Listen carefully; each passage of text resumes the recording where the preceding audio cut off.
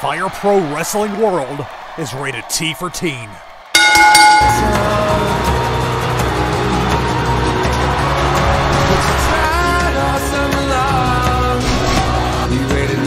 Radio?